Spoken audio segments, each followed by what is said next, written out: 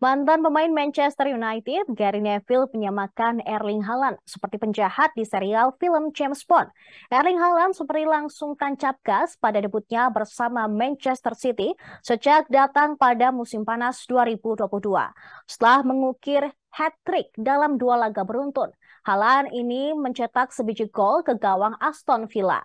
Gol itu terjadi pada pekan ke-6 Liga Inggris di Villa Park pada Sabtu malam tepatnya pada menit ke-50.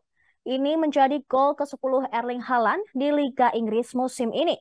Penyerang timnas Norwegia itu hanya butuh enam laga awal di Premier League untuk mencapai jumlah gol tersebut. Performa impresif Haaland itu membuat Gary Neville menyamakan dengan Jobs, karakter penjahat di waralaba film James Bond pada era 1970-an. Namun, Neville tidak membuat komparasi itu untuk menghina Haaland. Neville pun memprediksi Erling Haaland akan menjadi karir yang panjang bersama Manchester City.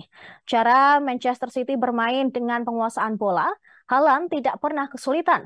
Kontribusi Erling Haaland membawa Manchester City untuk sementara menduduki urutan kedua klasmen pada Liga Inggris musim 2022-2023.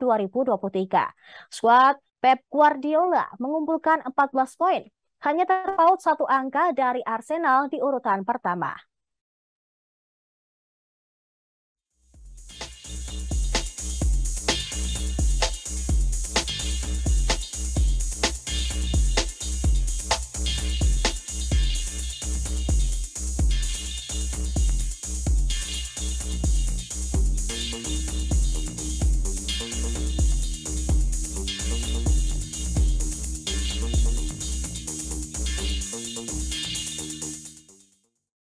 Terima kasih sudah nonton.